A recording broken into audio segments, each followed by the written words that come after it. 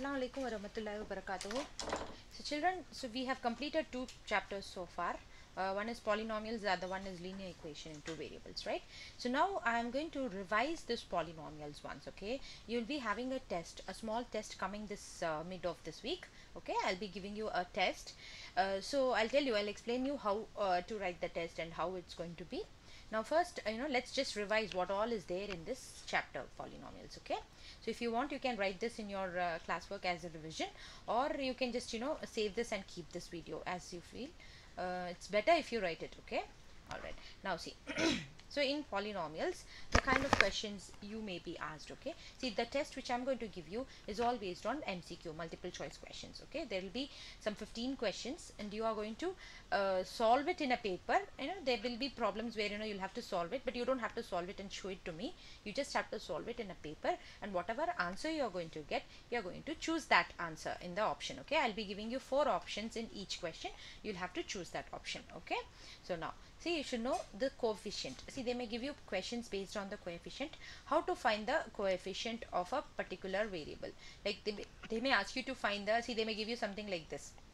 An expression like this may be given to you and they may ask you to find the coefficient of x to the power of 4 if they ask you to find the coefficient of x to the power 4 you will say 5 is the coefficient uh, so 5 is the coefficient of x to the power of 4 okay? That is the number attached to the uh, the particular variable variable whichever they are asking you that's going to be your coefficient okay? And if they ask you what's the coefficient of x cube then in that case you will say negative 3 minus 3 okay? So you have to write the number with the sign. Here we just wrote 5 because 5 didn't have any sign. Here 3 is having a minus sign so I'll be writing minus 3 okay? And x squared has a coefficient of 2 so if they ask you what's the coefficient of x, it's going to be minus 4. Now if they ask you what is a constant, so constant is a number which doesn't have any kind of x uh, attached to it. So that is going to be 1 over here. So 1 is the constant, okay. So you should know how to find the coefficient properly. Then degree. Now they may give you an expression like this and they may ask you to find the degree. So degree is the number uh, on uh, the power of the x okay? With the highest power of x. See highest power of the variable. Variable is nothing but x over here is the degree of the polynomial. So in this case you see this there is an x over here there's an x over here there's an x over here and there's an x over here. Now we have to see the powers of the x okay? Here it's 5 here it's 3 here it's 6 and here nothing is there so it's 1 so the highest among these is 6 so 6 is the degree of the polynomial okay? Now if I give you one more example like this okay? 3x to the power of 5 so there is a degree uh, I mean power of 5 here there's a power of 4 here there's a power of 6 here there's a power of 7 so now you may be asked what is the degree of uh, this polynomial? So you may feel like saying 7 okay? Because 7 is the highest among them. But you see 7 has got a coefficient of 0 right? So 0 into x to the power of 7 is actually 0 correct so that is why this is not a degree. The degree will be the next number which is this. That is 6 is the degree again. Got it? So that's why I've written degree is 6 and not 7 because uh, coefficient of x to the power of 7 is 0. Okay, when you multiply it by 0, you don't have x to the power of 7 in that uh, thing at, at all, right? So that is why you will not take the 7 as a degree okay. Now if i ask you what's the degree of 4 okay? If i give you just this term p of x is equals to 4 there is no x involved. So that means there is no x. There is a x and the power of this x is 0 say x to the power of 0 is 1 okay? Or any number to the power of 0 is going to be 1 let me say 100 to the power of 0 is going to be 1 any number to the power of 0 will be 1 so here I have got only 4 right? So you know in, in with that I can actually uh, write x to the power of 0 because uh, that means it's 1 right? So therefore degree is equals to 0 okay? Alright for any constant number degree will be 0 okay now look at this.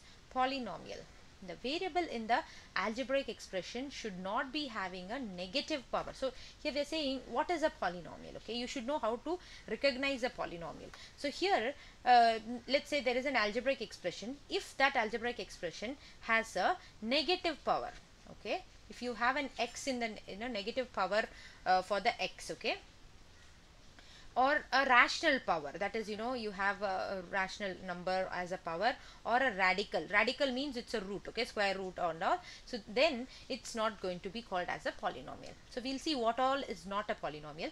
See if i give you an expression like this this is an algebraic expression right? So this expression has got x cube x square x and a number. So numbers is not a problem. You can have any kind of numbers, but the only issue is with the x, okay, the variable.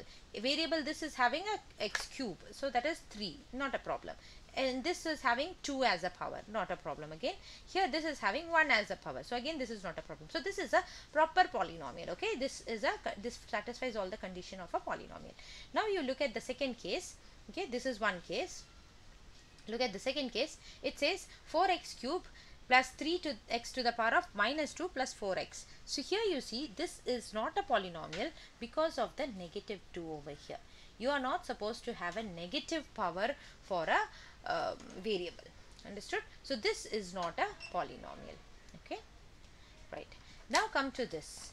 Here in this third case, here you see you have got uh, 5x to the power of 4 so this is proper not a problem this and this are also proper but here you see you have got a x cube in the denominator so this you know makes the as a uh, you know it's a uh, it violates the uh, polynomial rule so x cube if it comes in the x if x cube or x square or any x coming in the denominator if you have any one term like this it's go it's not uh, called as a polynomial. So that's why we say this is not a polynomial as x cube is in the denominator. Okay. Then come to the the next one. Here you see here x to the power of 5 is not a problem x cube is also not a problem this x is also not a problem. But here you see you have got a root x right? So you are not supposed to have a root a radical for a x. So this is not a polynomial okay? Due to the x root x all right now come to the next one. Here you see again you have a polynomial where cube is fine and this 4 is also fine. This one is having a 3 by 2, a rational number, right? So this is not a polynomial again because of the rational power. Okay, so you should know how to recognize a polynomial. You may be uh, given a multiple choice question, question like you know they may give you four options, four uh, um, expressions, and they may ask you to uh, choose one polynomial. Maybe you know the other three may be not a polynomial. They may not be a polynomial, and they may give you only one polynomial in the option. You will have to uh, choose the best one, I mean the correct one, okay. So anyways, they can ask you the question. So you should know how to recognize a polynomial. Now you come to this property, the fourth one. See, polynomials having only one term is called a monomial. So I've just taken it from your textbook, the definition. So based on these three uh, mm, definitions, you may be asked a, a question, uh, again a MCQ. See, one, only one term. See, this is 5x, 9, 3x square these are all having only one term. See when i say two terms it should have a plus or minus in between okay? So this is not having a plus or minus. The multiplication and division is not considered as a different terms. Like if i have uh, 3 by x this is one term only okay? This is division right? 3 by uh, x 3 divided by x is considered as one term okay? So monomial is a term which has uh, is a polynomial which has only one term.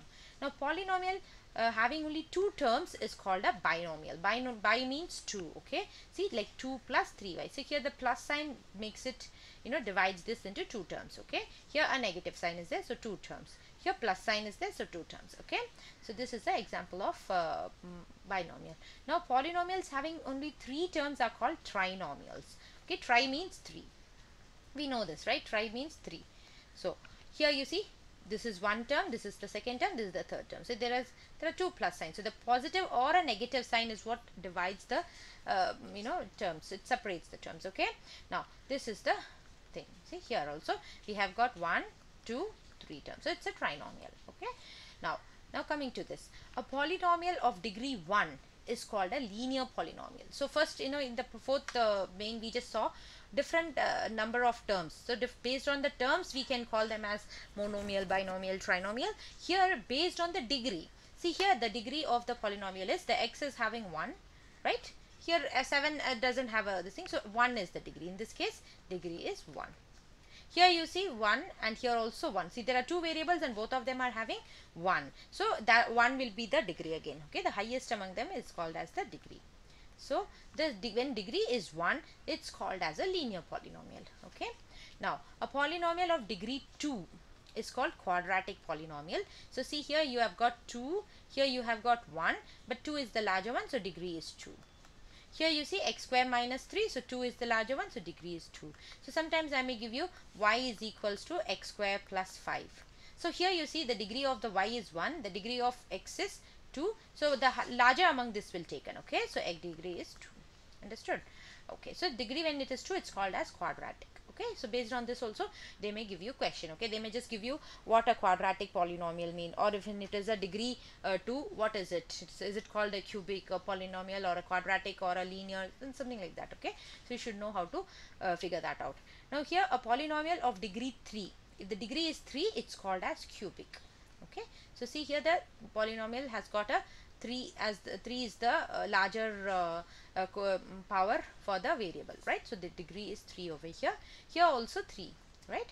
See we are not bothered about the other terms okay? It, it can be there or it cannot be there. That's not a uh, thing. The only the larger term we see so this is 3 again okay? So the degree is 3 so this is called as a cubic polynomial. For more than uh, 3 you know for 4 5 6 and all we don't have a particular uh, term. See of course for 4 we have it. Uh, but then you know that's not required for you. Okay? Then after uh, 4 we just call it as polynomial of degree uh, uh, so and so.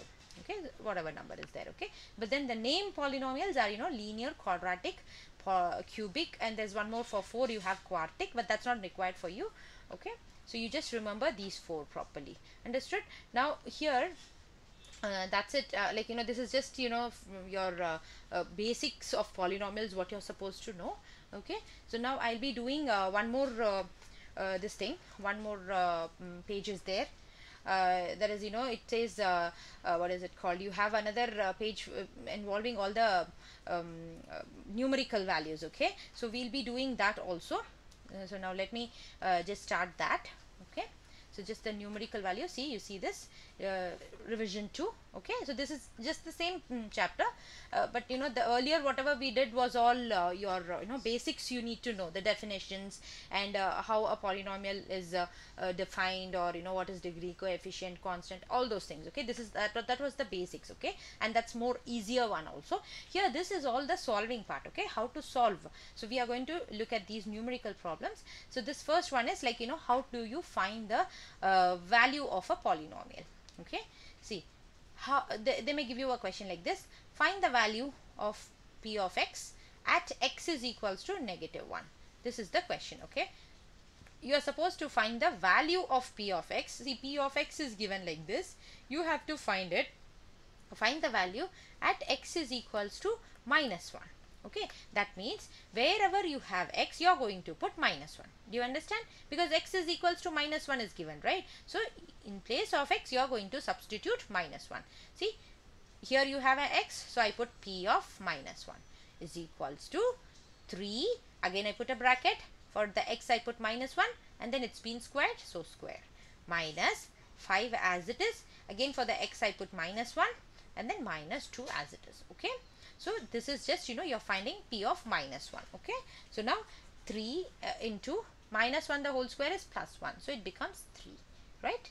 3 into 1 is 3 then minus 5 into minus 1 is plus 5 and then minus 2 3 plus 5 is 8 minus 2 8 minus six, uh, 2 is 6 so p of minus 1 is 6 so you know they may ask you the questions like find the value of p of x at x is equals to minus 1 or they may just you know directly say find p of minus 1 it means the same okay find okay? If if they say find p of minus 1 it means the same. So that way they can actually ask you what's p of 2 p of anything okay? Or p of 0 anything could be asked okay? So you have to just substitute this particular number whatever is being written over here for the x in the given equation given polynomial okay? And that answer whatever you get. So you you you finally you know wherever you have x you're putting a number so you will solve it and you'll get a normal uh, answer number as an answer at the end okay now look at this particular uh, question. It is asking you again, you know, find the p of x is equals to, there is an expression given like this and they are asking you at x is equals to 1. So I have to put x is equals to 1 in the question, okay. So p of 1 is equals to 2 into 1 the whole square plus 3 and for the x again I put 1 plus 4 and a I don't know what is a so I'll keep it a as it is. Sometimes they may give you the value of a. If they're giving it you write it down. Otherwise you keep it as a itself minus root 2 now here you see 2 into 1 square is 1 itself. 2 into I mean 1 is 2 and 3 into 1 is 3 and 4a I can't do anything with the 4a so I keep 4a and minus root 2 as it is. Now these two I can add because you know 2 and 3 are like terms. So 2 plus 3 is 5. I can't add a 4 to this because it is having a a with it okay. So it is not a like term. So I will just leave the answer as it is 5 plus 4a minus root 2. I can't do anything with this okay. Don't ever write 9a okay. It's not you can't add them. Okay. Now come to 0 of a polynomial. So they may ask you what is a 0 of a polynomial like they may say find the 0 of a polynomial this is the question okay. So first of all you should know what a 0 of a polynomial means. We just learned how to find p of x right. p of 1, p of 2, p of 3 and all. Same way 0 of a polynomial is a value of x. We are trying to find the value of the x okay in the equation wherever you see here we need to find out the x value such that you know the p of x turns out to be 0 understood. So what do you have to do whenever they ask you to find the zero of a polynomial? You take the p of x is equals to 0 that is you take the expression given to you the polynomial whatever is given x plus 5 is equals to 0 and then you take a you just solve for the x. So you move the 5 to the other side. So you get x is equals to minus 5 so x is equals to minus 5 is the 0 of a polynomial p of x. That means minus 5 for the x makes this polynomial 0. See you put minus 5 over here it will become minus 5 plus 5 which is 0 right. So x is equals to minus 5 is the 0 of a polynomial. Now look at the next one. Check if 2 is a 0 of a polynomial. They are asking you to check now. Earlier we, we were asked to find the 0. Now they are asking you to check. So you know that if you have to have a 0 of a polynomial then p of x should be equals to 0. Now they are asking you that you know check if 2 is a 0 then p of 2 should be equals to 0 right. So you put 2 for the x over here 2 for the x over here and and then you see if that will become 0 or not okay? So let's see p of 2 is equals to 3 to uh, i mean 3 of 2 uh, 3 times 2 the whole square minus 5 times 2 minus 2 so now you know you will have 3 into 2 square is 4 so 3 4 are 12 that's what you write. Minus 5 into 2 that is negative 10 minus 2 so you have 12 minus 10 minus 2 12 minus 10 is 2 2 minus 2 is 0 so it's you're getting p of 2 as 0 that means you know 2 is a 0 of p of x okay? See p of 2 is equals to 0 therefore 2 is a 0 of a polynomial p of x okay? Yeah. Now come to the next one remainder theorem so based on remainder theorem, they may ask you a question. See, this is the statement of remainder theorem. See, usually for your normal uh, test, the written test and all, you will you are expected to memorize this. But here, I am going to give you just a MCQ uh, multiple choice uh, questions uh, test. Okay, so you will not be uh, you will not be given all these kind of definitions okay? So you just understand this definition so that you are able to answer the problem okay? You don't have to mug it and you know like how you write it in the normal uh, test like that. You don't have to mug it but you should understand it because based on the based on your understanding there will be questions okay? So remainder theorem uh, it's like you know if uh, see see you just read this and see what it means. Now i will show you how uh, to solve a problem based on remainder theorem okay? So find the remainder. So they, this is how the question will be okay find the remainder. When p of x is, uh, is, is this is the p of x okay is divided by g of x. So what are you doing? You are going to divide p of x by g of x okay? And you are going to see after dividing what is the remainder you are getting? R of x okay? So we don't have to actually go by this long process here.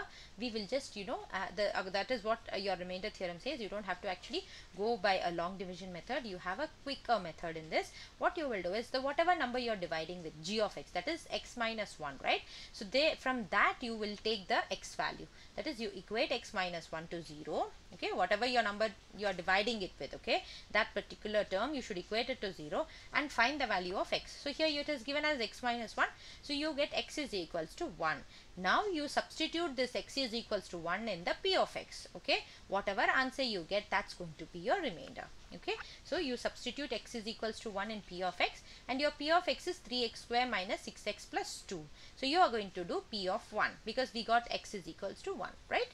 So if I am dividing it with x plus 2 for example then I will be substituting x is equals to minus 2 understood. So here it depends upon what your g of x is. So here what you do is you will take the uh, 1 and you will substitute for the polynomial. So p of 1 is equals to 3 times uh, 1 square minus 6 times 1 plus 2 so that's going to be 3 into 1 square is 3 minus 6 plus 2 3 minus 6 uh, I mean 3 and 2 are having a positive number positive sign. So I have added these two 3 plus 2 5 5 minus 6 you can do it either ways okay? You can do 3 minus 6 then you can do add also. That doesn't matter. It's going to give you the same answer.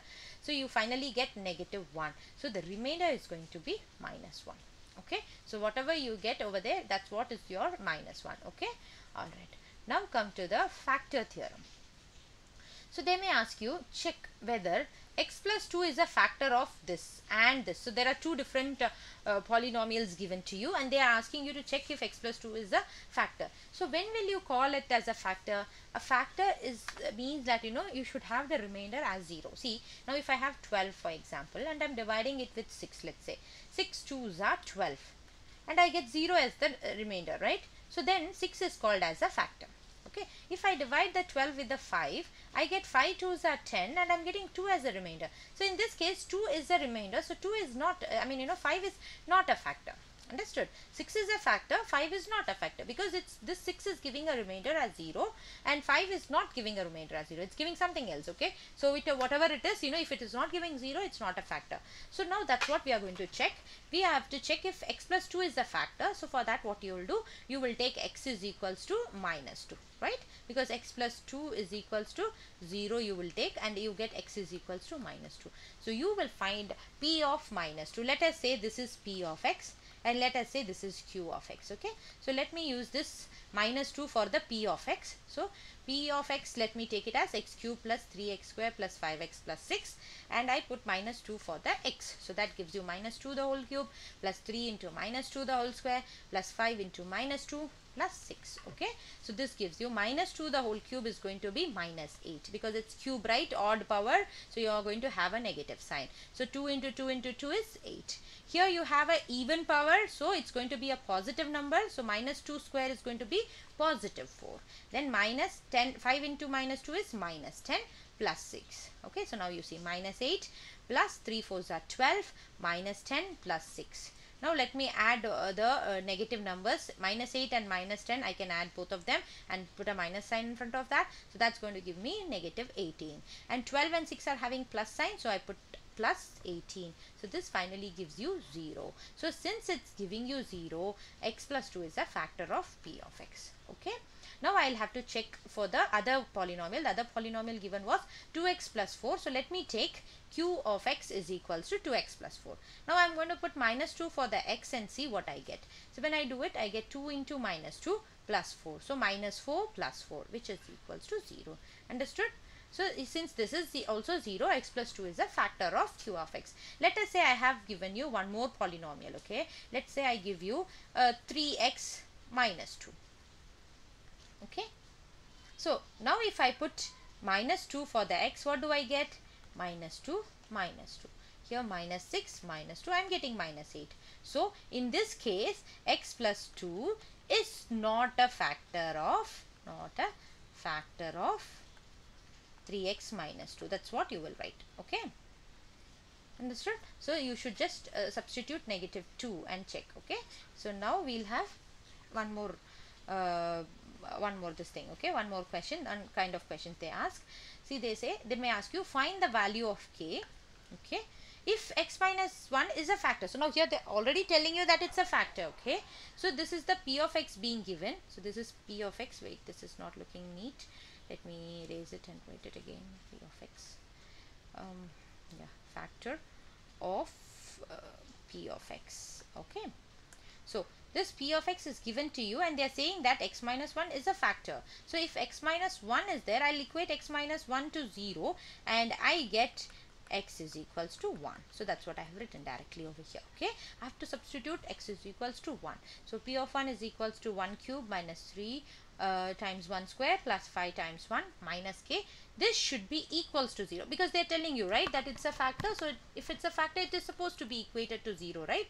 So this will be equated to 0 so 1 cube is 1 cube minus 3 into 1 is 3 plus 5 into 1 is 5 minus k is equals to 0 so you get um, 1 uh, see here what do you get? 1 minus 3 is minus 2 5 minus 2 is 3 see you get 3 over here. If you add all these 3 5 plus 1 is 6 6 minus 3 is 3 right? So here you see 3 minus k is equals to 0 I need to find the value of k. So you can even say 3 is equals to move the k to the other side. It becomes plus k. Or I can write k is equals to 3 okay? Or if you do 3 minus k equals to 0 you move the k 3 to the other side you keep the k as it is k will have a minus sign okay? You move the 3 to the other side so 3 will become minus 3 because the sign in front of 3 is plus right? So when it goes that side it becomes minus 3 now you see you can cancel the minus sign on both the sides okay? So k equals to 3 so either ways you can do it but be careful with the sign understood? So that's it. Uh, so these are the kind of numerical problems they are going to ask okay? And apart from this you will have to memorize all the identities. You remember we had done all the identities uh, the last exercise right uh, all the um, formulas right so though all those things you are supposed to memorize it there may be problem based on those okay so you just learn that and you can go over the videos which i had done that day so you uh, do all these things prepare well for your test i'll be sending you a uh, Google form actually. I will tell you the details. I'll send you the details about it in your um, uh, group. Okay, in the group I will be sending you the details. So you have to take that test seriously and how to uh, uh, when to submit the test all those things i'll be letting you know. I'll tell you okay? So anyways uh, all the best for your test. Prepare well okay? I love this